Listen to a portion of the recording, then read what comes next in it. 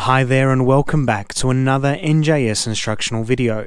In this video I'm going to show you how to replace the fuel vent line in this Stihl chainsaw. So what is the purpose of the fuel vent line? Well the fuel vent line allows a release of air or gases which have been pressurized in the fuel tank. Now this can occur on a hot day or prolonged use of the chainsaw when the fuel and the fuel tank heat up. However it also allows ambient air to vent back in and avoid a vacuum pressure in the fuel tank and that can affect the performance or even starve the chainsaw of fuel. And that can happen when the fuel or the fuel tank cools down or when the fuel is actually being consumed during operation. Now I've opted to use a newer style vent line for this chainsaw and as you'll see the original one has quite a different design but the same function. Now to start we're just going to take off this cover. Here is the original fuel vent line. Obviously it's a different style, it's got the internal springs that can be adjusted with a little screwdriver, but it's also been leaking from where it actually interfaces with the fuel tank.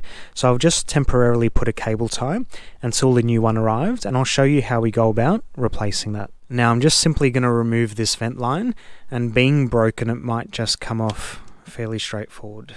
So this used to be a nice clear colour and you can see just over time that it's gone yellow and brittle.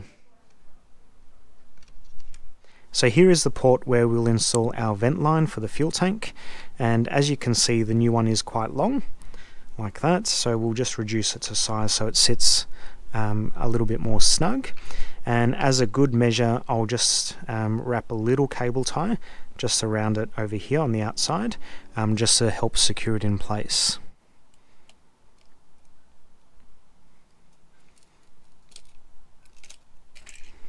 Once we've cut it down to size, I'm just going to feed it onto that port.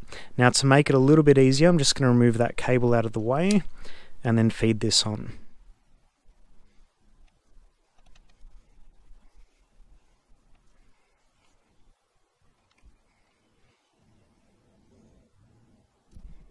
Now as a safety precaution, I'm just going to use this cable tie and just wrap it around the bottom there, even though the vent line is quite snug and tight and won't come off.